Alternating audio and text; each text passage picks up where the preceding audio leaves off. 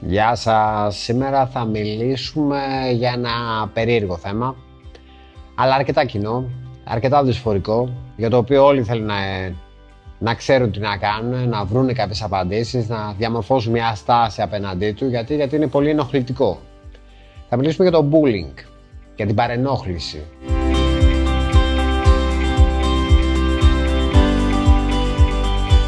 κάθε τύπου παρενόχληση. Είναι αρκετά κοινό, αρκετά διαδεδομένο. Είναι μια παραβίαση ορίων και παραβίαση συνθήκων και κανόνων μεταξύ των ανθρώπων. Αυτούς τους προσυμφωνημένους τέλος πάντων που έχει το εκάστοτε πλαίσιο. Δες αυτό το βίντεο και πες μου με σχόλια από κάτω από το βίντεο, αφού το δεις το βίντεο, πώς σου φάνηκε το βίντεο, πώς σου φάνηκαν αυτά που θα πούμε, πώς στέκεσαι εσύ απέναντι στο bullying, ποιες είναι οι δικές σου τοποθετήσεις, οι δικές σου εμπειρίες και πόσο όλοι μαζί μπορούμε να σκεφτούμε τι μπορούμε να κάνουμε απέναντι σε αυτή την επαναλαμβανόμενη κοινωνική διαδικασία γιατί είναι μια κοινωνική διαδικασία όταν υπάρχουν κανόνες υπάρχουν πάντα εξαιρέσεις. απασχολεί, απασχολούσε, απασχολεί και θα απασχολεί τους ανθρώπους οπότε μάλλον χρειάζεται να φτιάξουμε μια στάση να σκεφτούμε και να οριμάσει μέσα μας μια στάση, μια απάντηση σε κάτι το οποίο συνεχίζει να μας απασχολεί και μάλλον θα συνεχίσει. Λοιπόν, όταν λέμε bullying, όταν λέμε παρενόχληση, αντιλαμβάνεσαι ότι δεν έχει να κάνει με έναν άνθρωπο και ένα δεύτερο απαραίτητα. Ε, είναι αρκετά συνηθισμένο να είναι δύο οι άνθρωποι που ένας παρενοχλεί τον άλλον ή αλλάζουν μεταξύ τους παρενοχλήσεις. Αλλά μπορούμε να μιλάμε για ολόκληρες ομάδες ανθρώπων, μπορούμε να, να μιλάμε για ένα ευρύ κοινωνικό φαινόμενο, μπορούμε να μιλάμε και μέχρι για παρενόχληση που ένα έθνος κάνει σε ένα άλλο. Ε, μια ομάδα ανθρώπων με μια ιδεολογία σε μια άλλη ομάδα ανθρώπων με άλλη ιδεολογία. Ε, με άλλες προτιμήσεις, ε, με άλλες ε, επιλογές. Είναι αρκετά ευρύ και ουσιαστικά ακουμπάει και χαϊδεύει το θέμα του σεβασμού. Έχουμε πει σε ένα άλλο βίντεο, ενδεχομένως θα ήταν ενδιαφέρον να του ρίξει μια ματιά, τι είναι και τι δεν είναι ο σεβασμός. Επιγραμματικά, με πολύ λίγες λέξεις, σεβασμός είναι η αποδοχή της διαφορετικότητας. Και θέλω να το κάνω λίγο πιο έντονο θέμα, θέλω, θέλω λίγο να το επισημάνω αυτό. Γιατί, γιατί δεν είναι άνθρωποι απαραίτητα δουλεμένοι. Ε, δεν, δεν έχουν δεν έχει οριμάσει μέσα τους το τι θα πει αποδοχή διαφορετικότητας και του εαυτού μας και οποιοδήποτε άλλου ανθρώπου. Και εκεί έρχονται και τα, τα σαρωτικά συνήθως δυναμικά κάποιων ισχυρών, ε, μιας ισχυρής φιγούρας, κάποιων ισχυρών φυσιογνωμιών. Έρχεται ο εγωισμός που κάποιοι άνθρωποι μπορούν να θέλουν να εκφράσουν και να εκδηλώσουν όταν έχουν απέναντί τους κάποιον άλλον άνθρωπο. Ε, έρχονται οι απόλυτες θέσεις και οι άκαμπτες αδιαπραγμάτευτες τοποθετήσεις που έχει κάποιος έναντι των θέσεων που έχει οποιοδήποτε άλλος γύρω του. Έρχεται η δύναμη της επιβολής, έρχεται ένα παιχνίδι επίδειξης δύναμης, επίδειξης ισχύως έναντι κάποιου άλλου ανθρώπου. Και κατά προτίμηση κάποιου ειδικά όχι τόσο δυνατού, κάποιου λίγο πιο ανίσχυρου, πιο αδύναμου, μιας φιγούρας που θα ήταν αρκετά βολικά για αυτόν που θέλει να κάνει την παρενόχληση, να, να, να τον επιλέξει για να εκφράσει εκεί πέρα, να ζητήσει από αυτόν να υποταχθεί έναντί του. Είναι ένα αρκετά δυναμικό θέμα, δυναμικό κοινωνικό θέμα, με διάφορες προεκτάσεις, αφήνει λεκέδες, αφήνει αποτυπώματα στον ψυχισμό και στην ιστορία ζωής, το τι καταγράφει ο καθένας για τη διαδρομή του. Ε, δεν συμβαίνει μόνο σε μικρές ηλικίες, απλά ίσως η κοινωνία να έχει αναπτύξει λίγο πιο έντονα αντανακλαστικά όταν αυτό συμβαίνει και αφορά μικρά παιδιά. Ε, και ουσιαστικά γιατί, γιατί είναι πολύ σημαντικό και για το μικρό παιδί το οποίο θα δεχτεί την παρενόχληση, ε, γιατί αφήνει αυτό το έντονο αποτύπωμα, αυτή η εμπειρία της παρενόχλησης από έναν ή και περισσότερους ανθρώπους αλλά και για τον ίδιο τον άνθρωπο ο οποίος δημιουργεί την παρενόχληση, γιατί πραγματικά μιλάμε για μια ενέργεια που έρχεται από έναν άνθρωπο ο οποίος ακόμα δεν έχει κατασταλάξει, δεν έχει αποκρισταλωθεί, δεν έχει ακόμα ξεκαθαρίσει ποιος είναι και ποιος δεν είναι, και παρά τα αυτά επιλέγει να ενοχλεί στο διπλανό του. Σκεφτείτε ότι είναι, είναι αρκετά εμποτισμένο μέσα μας, έχει δουλευτεί εδώ και πάρα πάρα πολλές γενιές το να, μπορούμε, ε, το, το, να χρειάζεται να επιβιώσουμε και να λειτουργήσουμε το μέσο συνόλων, το μέσο ομάδων, με άλλους ανθρώπους σε κάποιες θέσεις γύρω μας. Σκεφτείτε πόσο δυσλειτουργικό είναι ε, ο οποιοδήποτε που θέλει να ενταχθεί μέσα σε οποιοδήποτε ομάδα να, να μην διαπραγματεύεται καν, να απαιτεί ε, να, να δημιουργεί τέτοιες συσχετήσει με με, με, ε, που, να, που να εμπεριέχουν την παρενόχληση με τους ανθρώπους γύρω του. Δηλαδή, πόσο ενοχλητικό θα είναι την ώρα που αυτός ο, ο καθένας μας θέλει να ενταχθεί σε κάποιες ομάδες, να καταφέρει να ενσωματωθεί για να διεκδικήσει αυτά που χρειάζεται και για να επιβιώσει και να διαβιώσει, ο ίδιος ο άνθρωπος ε, να λειτουργεί με όρους παρενόχλησης. Και σκέψτε τώρα πόσο περίεργο είναι ένας τέτοιος άνθρωπος, χωρίς καν ακόμα να έχει βρει τον εαυτό του, να ξέρει τι θέλει, να ξέρει τι είναι σωστό και λάθος, να πειραματίζεται στην πλάτη κάποιων άλλων ανθρώπων, να δημιουργεί προβλήματα σε κάποιους άλλους ανθρώπους. Και συνήθως, όταν δεν μιλάμε για μια δυναμική κοινωνική, ε, ένα δυναμικό κοινωνικό φαινόμενο, όταν μιλάμε για την παρενόχληση, υπάρχει συνήθως η επιλογή του αδύναμου κρίκου.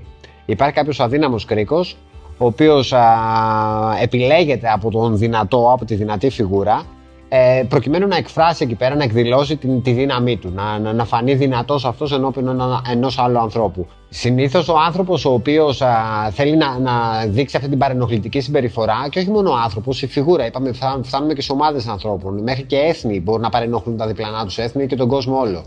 Ε, δια, διαλέγουν, στοχεύουν εκεί πέρα που νιώθουν ότι μπορεί, μπορεί να βρει έκφραση όλη αυτή η διάθεση ε, επιβολής και, ε, και παρενόχλησης. Οπότε γίνεται μια επιλογή από τον δυνατό κρίκο και ουσιαστικά ε, δημιουργείται ένα κράτος φόβου, μια κατάσταση στην οποία ο αδύναμος τρομοκρατείται από το πόσο δυνατός και πόσο επιτα, ε, επιτακτικός, πόσο, πόσο ισχυρός είναι αυτός ο οποίος θέλει να δείξει ισχυρός. Ε, μιλάμε για, για μια διαδικασία δυναμική στην οποία η μόνη απάντησή μας είναι να μην την δεχτούμε.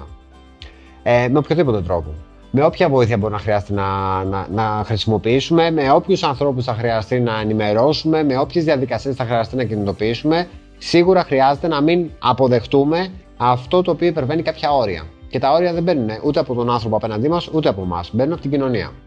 Μπαίνουν από, από τα πλαίσια μέσα στα οποία εντασσόμαστε. Υπάρχουν όρια εντός των οποίων οι άνθρωποι καλούνται να ευδοκιμήσουν, να λειτουργήσουν και να έχουν τα αποτελέσματά τους σε οποιοδήποτε πλαίσιο. Αν κάποιος τώρα θέλει να καταπατήσει τα όρια για οποιοδήποτε λόγο, είπαμε, μπορεί να είναι στοίχημα που βάζει κάποιος με τον εαυτό του, μπορεί να είναι μια κακώς μαθημένη συμπεριφορά, μια, μέχρι και μια αντικοινωνική συμπεριφορά κάποιου ανθρώπου, ο οποίος εκείνη τη στιγμή χτυπάει το πόρτα, την πόρτα μιας ομάδας ή θέλει να έχει απέναντί του κάποιον άνθρωπο. Αυτό είναι ένα δικό του θέμα, είναι δικός του λόγος. Αν θες, είναι και δική του δουλειά του ανθρώπου που, θέλει, που, που, που επιθυμεί να παρενοχλήσει το για ποιο λόγο επιθυμεί κάτι τέτοιο, αλλά από την, από την απέναντι πλευρά κανένας δεν έχει το λόγο να αποδεχτεί Κάτι το οποίο καταστρατηγεί τα δικαιώματά του, του αφαιρεί το αίσθημα της ελευθερίας και της αυτοδιάθεσης, το φέρνει σε δύσκολη θέση και στην τελική κανένας δεν μπαίνει σε καμία ομάδα και κανένας δεν έχει ανθρώπους απέναντί του για να βρίσκεται σε δύσκολη θέση. Όταν τα πράγματα δηλαδή εξελίσσονται στο να βρεθούμε σε δύσκολες θέσεις δίπλα σε ανθρώπους, όποιος και αν είναι ο λόγος που ο άλλος άνθρωπος μας φέρνει σε δύσκολη θέση, εμείς μόνο με τον εαυτό μας και χωρίς να κάνουμε καμία διαπραγμάτευση με κανέναν, χρειάζεται να σκεφτούμε τι στο καλό κάνουμε εκεί πέρα. Για ποιο λόγο να είμαστε εκεί πέρα; Γιατί να είμαστε εκεί και να μην είμαστε οπουδήποτε αλλού; Γιατί να μην προστατευτούμε; Αυτή είναι η ερώτηση. Στην οποία μόνο εμείς θα απαντήσουμε, γιατί εμείς έχουμε τους δικούς μας λόγους που επιλέγουμε να είμαστε οπουδήποτε, να έχουμε οποιοδήποτε άνθρωπο γύρω μας. Το κοινωνικό μας περιβάλλον δεν διαμορφώνεται από εμάς. Είπαμε λοιπόν ότι ο κοινωνικός περίγυρος, το κοινωνικό πλαίσιο, το που βρίσκει το καθένα μας, εμπίπτει και είναι θέμα δικής μας ευθύνης και επιλογής.